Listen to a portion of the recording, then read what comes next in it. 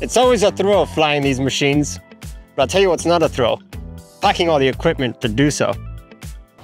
Big thanks to JLC PCB for sponsoring this video.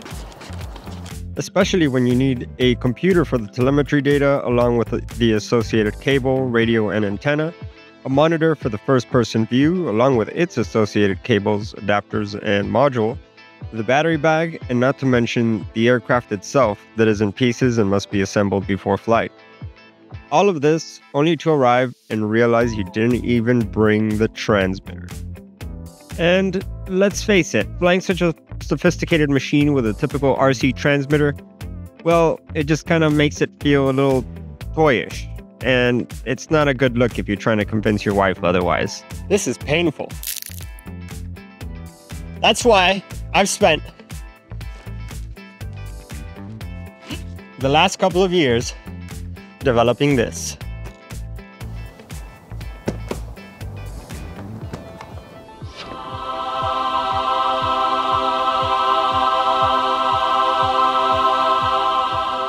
The trunk, as so graciously named by my wife. Get your trunk out of here. Allow me to give you a little tour. We start by connecting all the peripherals such as the telemetry radio and the digital video receiver with Velcro on the backside.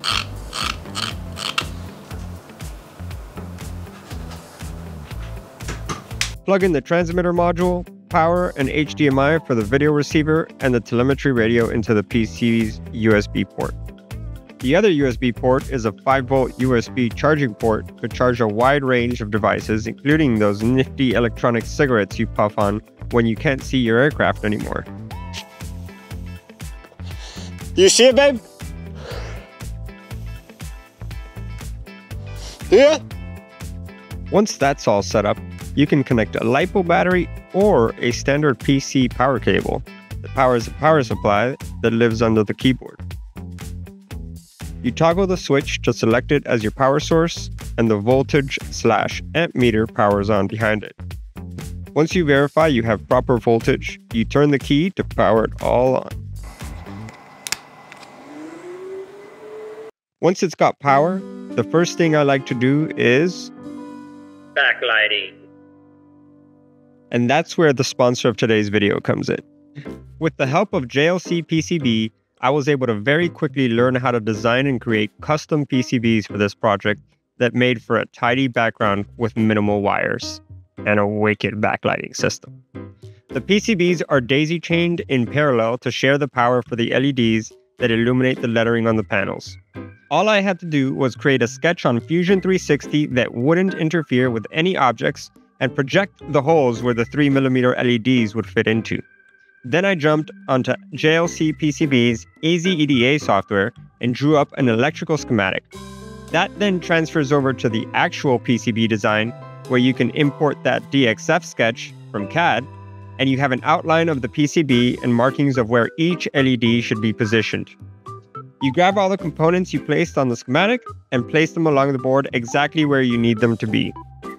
Once everything was in place, you can route all the connections to where they need to go, creating vias to route to the other side of the board as needed. Once everything is routed, you add the finishing touches like your logos or text. You view the 3D model in AWE for two hours. Then you hit that generate Gerber button or just order the PCBs right away. Since I had to drop nine of them, I just saved the files, went back to the home page, uploaded the zip baby food files, and I had an instant quote for production. Place that order, and you'll have your custom PCBs at your doorstep in less than a week. The greatest challenge I've had to overcome? Um, I'd say maintaining a healthy marriage. Yeah, definitely. Just had to devote a lot of time and attention to this project, you know, that otherwise would have gone to my wife. She was always like, Oh, me so you know. But I'm just like, come on, ChatGPT, figure it out. Power on the PC, transmitter, and external power for the video receiver we connected earlier. The display for the FPV unfortunately needs to be powered by an external battery for now, because I incorrectly managed the power and the primary control system freezes up if it's connected to the internal power. but I'm working on a fix for that. And finally, we pull out the joystick. My three year old daughter, too, you know, she was always around flipping switches, figuring stuff out and whatnot. All the input controls, such as the joystick, throttle, and rudder, talk to an Arduino that processes the inputs and converts it into a CPPM signal that it then sends to the external transmitter, in my case, a TBS Crossfire. Oh no, hold on. Yeah, no! It also features a six position switch for changing flight modes, a guarded toggle switch for arming and disarming, spring loaded gear and flap levers, and all of these are on their own channels. The joystick on the throttle panel and the thumbstick on the joystick are routed to the same channels and both control the same payload, in my case, a camera. There's also a trim hat switch on the joystick that controls pitch and aileron trim. Those values are displayed up here on these mini OLED displays. These three switches control aircraft lighting, and these two switches with the two buttons, well, let's just say I really can't wait to use them. They're pretty self-explanatory. You can fire the payloads either with the buttons on the panel or the button on the joystick. And finally, on the top right, we have a magnetic information panel that lists the limitation for the aircraft you're flying and my beloved Patreon supporters supporter. Thanks, Harry. So, with that, it's time to finally put it to the test. This is actually the first time I will be controlling an aircraft with it. My greatest fear about this whole thing? Um, I'd have to say people not liking and subscribing. Ah, it's not armed. Armed, armed. And if you watched my previous videos where I attempted to land the aircraft autonomously, it was actually for this very reason. I have programmed the autopilot to return and land back on the runway if it loses signal. And I did test this with my Radio Master at the beginning of the video when you were just getting settled in. This is a system that cannot fail. My emotional support animal won't do There much for me in that scenario. Yeah, I mean, losing control of the aircraft and like crashing into some old lady's car, possibly ending up in jail. Sure, that's like a close second. Now, I know having a separate rudder lever is not ideal, but integrating a twisting joystick was just way beyond my CAD expertise. If anybody has any better ideas for the rudder control that doesn't involve me getting my first set of gray hairs, please leave a comment down below. Or just say hi. That's cool too. I don't Okay, have many friends. right. That's fine. Would you please still be my friend? Whoa, whoa, whoa, whoa. So taxiing the airplane was pretty hard, but I have a few hunches as to why it was so difficult. It is a tailwheel airplane, and the winds were pretty strong. They were like gusting up to 20 knots. So I think the airplane was kind of weather vaning into the wind. Um, and when I was taxiing downwind, the tail would flip around, and that's what happened there. So I just went and put it there on the runway where it needs to be, and just took off from there. That should do it. That should be good. Here we go. Farm it.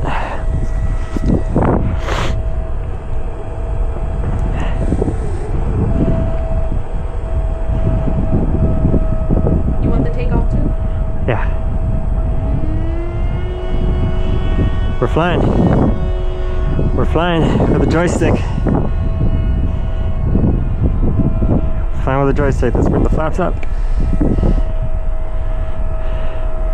We are flying with a joystick. You can't see it, but I have a huge smile on my face as the ice cold boogers run down my my lips. You ah. Just roll down. we don't even have the backlighting on. Gotta have that on. Are you? Oh, I found. Oh, this is awesome.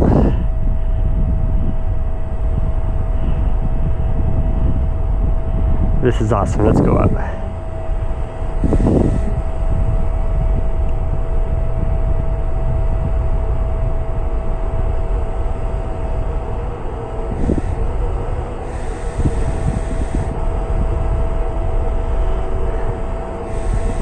Start down a bit.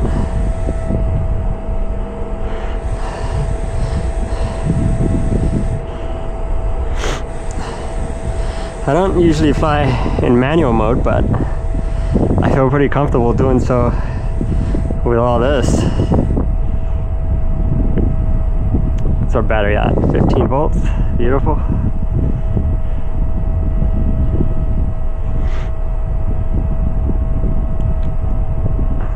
Fast, 40 knots over the ground.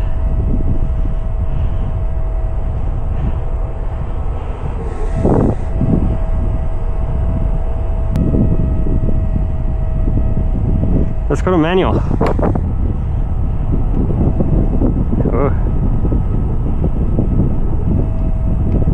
Do a bit of trimming.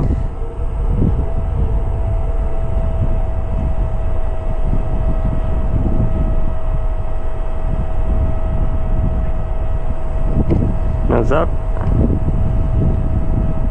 Look at that, the trim works. We're manual mode. Look at me.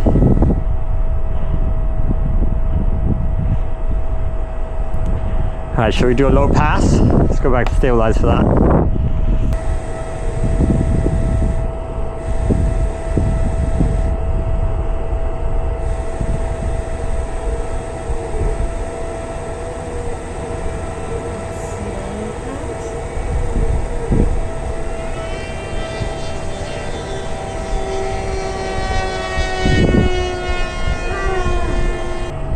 There you go. That's low.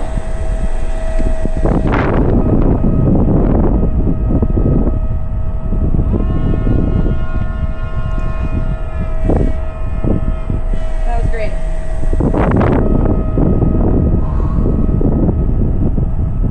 Okay, let's land. Let's go flaps takeoff.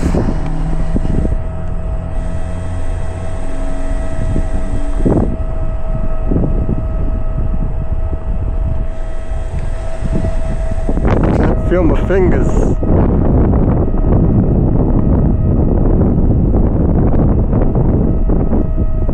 Way too fast. Let's go flaps full. Landing.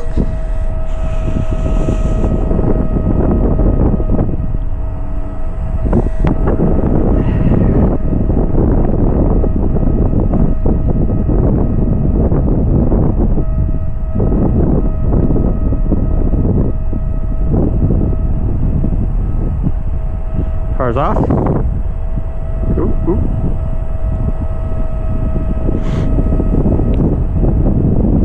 There you have it, folks. Well, that went incredibly well. I was so happy with how well it worked. I actually took it out the next day and flew around for four hours. It's just, it's, it's hard to describe, but flying with a hands-on throttle and stick, it's just unreal. I was also able to update the fonts on the Walksnail video receiver, and now I got this really cool green text showing all the telemetry data.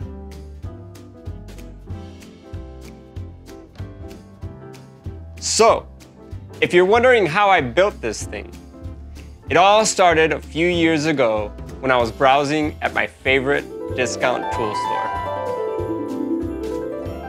I saw this sleek box and I said to myself, this would make an awesome ground control station. And I just had to get it. And that's where the journey began. I sat on the box for a few days trying to hatch some good ideas on how to get started. Then I saw a gentleman on YouTube make an insanely cool A10 home simulator. His channel is called The Warthog Project. Highly recommend taking a look. I thought this method for creating panels would be perfect for a ground control station. So as usual, I got on CAD and spent the better part of about six months designing this thing. I removed all the foam from the box and 3D printed these pillars where all the panels attach to. All the pillars have threaded inserts that the panels bolt down to. This design allows for easy customization, giving you a wide range of options to choose from for your panels. I've already gone through three different iterations of the transmitter panel, including taking apart an old Taranis radio. So I'm glad I made it versatile. For the panels themselves, I exported the sketches from CAD and laser cut some 3mm acrylic sheets. I spray painted them black with the finest paint Walmart has to offer and stuck them back in the laser to engrave the lettering.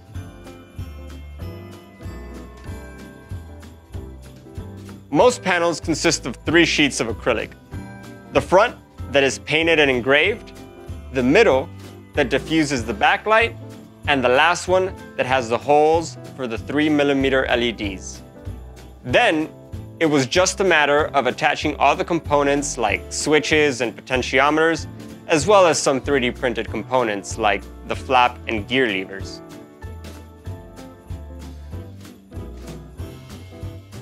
Finally, on the backside, we attach the custom PCBs that bring it to life. Oh, and wiring. A lot of wiring. So if you want to make your own trunk, the first thing you have to do is like and subscribe. Then head straight on over to my Patreon page where you'll find Harry and the excellent opportunity to keep my marriage alive, as well as the downloadable 3D print files, the laser cut SVG files, and the Gerber files, and all the juicy details about how this contraption comes together. And if you think this is over your head, just remember, I have no idea what I'm doing. It's mostly my good friend, Chad ChatGipity. Say hi. Hi, everyone. Glad to be part of the show. Definitely leave a comment down below if you would be interested in purchasing a kit or even a fully assembled trunk. I'm sure they'll love it. Keep those comments coming, folks. I am, well, we are continuing to develop the trunk and hope to one day have Edge TX on here so that it's as universal as all the radios that are commercially available.